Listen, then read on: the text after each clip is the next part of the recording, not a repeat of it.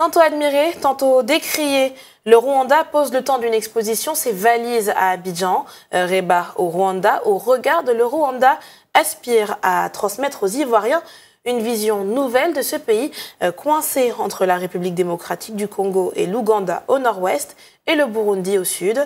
Pour en parler, je reçois dans ce nouveau numéro de C'est-à-dire Tamandra Génie, commissaire d'exposition Hasard. Bonjour, merci. Merci d'avoir accepté notre invitation, Madame Génie. Merci à vous. Hasard, qu'est-ce que c'est? Hasard, c'est une structure que j'ai mise en place avec euh, mon associé qui s'appelle Prince Limayala. Et on est vraiment axé sur l'art contemporain dit africain. Et on propose des, des commissariats d'exposition, euh, de la représentation d'artistes et aussi euh, de la vente d'œuvres d'art. Alors, on parle d'art contemporain en général, mais pourquoi là, préciser art contemporain à l'africaine? Alors justement, moi je dis dit africain parce qu'en fait, sur le marché international, beaucoup font la segmentation entre art contemporain et spécificité art contemporain africain. Alors moi, c'est tout le paradoxe, je le souligne, mais il y a bien des guillemets, d'ailleurs je le barre même souvent, africain. Mais voilà, c'est vrai que je représente des artistes qui viennent d'Afrique, ou en tout cas qui sont afrodescendants. Et euh, je trouve ça important quand même de préciser l'origine euh, d'une œuvre parce qu'une œuvre, en fait, porte un message. Et aussi, même en histoire euh, de l'art, c'est aussi source d'histoire. Voilà, c'est important de rappeler l'origine de l'art, même si, euh, évidemment, c'est à, portée universelle. Dans mes recherches, j'ai constaté pardon, qu'Hazard expose à Paris. Alors pourquoi avoir choisi la Côte d'Ivoire? Alors, je suis franco-ivoirienne, donc euh, évidemment, Paris, oui, voilà. Paris, c'est une grosse plateforme pardon, pour l'art contemporain. Et Abidjan, voilà, euh, c'est vrai que je voulais proposer à Abidjan un peu d'art contemporain et un peu de mon expérience. En parlant de Côte d'Ivoire, justement, le pays regorge d'artistes, dont certains connus à l'international. Méné, Pascal Conan, Jaco Bleu, Obu Caïs, j'espère ne pas avoir écorché son nom. La liste est longue. Alors, pourquoi avoir choisi d'exposer des artistes rwandais et comment s'est passée la sélection? Justement, moi j'ai vécu deux ans en fait au Rwanda et euh, de ce fait, en fait, je connais plus la scène euh, culturelle rwandaise que la scène euh, culturelle ivoirienne. Donc forcément, si je voulais apporter un plus, c'était d'amener un peu voilà, de, mon vécu et de ce que j'avais pu observer par-delà les contrées jusqu'au Rwanda. Alors de manière plus générale, est-ce que Hazard se concentre essentiellement sur des coopérations sud-sud? Non, pas que. Justement, le but, c'est vraiment il y a un peu de hasard d'ailleurs là-dedans. Hein. C'est pourquoi pas. bien choisi. voilà, justement.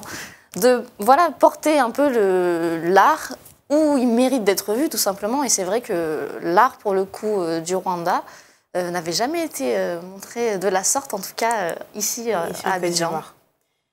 Parmi ces artistes, il y a une femme, j'espère mhm. encore une fois ne pas écorcher son nom, Oukeye.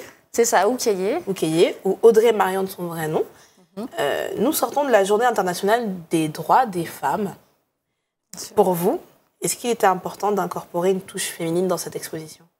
J'aurais même aimé qu'il y ait plus de femmes, à vrai dire. Euh, maintenant, la sélection s'est fait comme ça aussi. Euh, voilà.